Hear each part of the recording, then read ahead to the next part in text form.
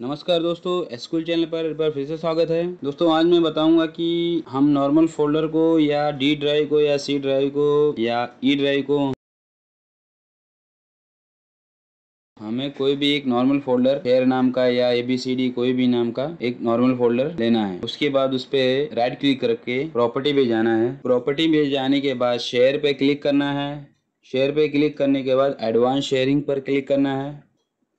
Advance sharing के बाद share the folder पर टिक करना है।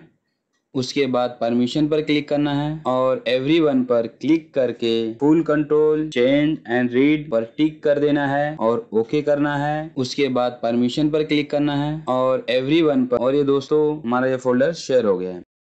इसी प्रकार से हम डी ड्राइव को भी शेयर कर सकते हैं ई ड्राइव को भी शेयर कर सकते हैं। दोस्तों, हमें याद रखना है कि परमिशन बरोबर देना है। Full control change and read तीनों पर टिक होना ज़रूरी है। और दोस्तों, ये सब करने के बाद भी हमें कुछ एरर आ सकता है या ओपन ना हो शेयरिंग में। तो इसके लिए हमें डी ड्राइव या ई ड्राइव के प्रॉपर्टी में जाना है सिक्योरिटी में जाना है, वहाँ पर देखना है एवरीवन को परमिशन मिला है कि नहीं। अगर नहीं है तो एडिट पर क्लिक करके एड पर क्लिक करके ई वी ई आर लिख कर ओके करना है। ओके करने के बाद एवरीवन आ जाएगा और उसको full control modify read and execute last folder all पर टिक कर देना है। और ये दोस्तों फोल्डर शेयर हो गया और डी ड्राइव भी शेयर हो गया। थैंक यू दोस्तों। ये वीडियो देखने के लिए मोर वीडियो के लिए सब्सक्राइब कर लें ताकि कंप्यूटर से रिलेटेड कोई भी दिक्कत आसानी से सॉल्व कर सके।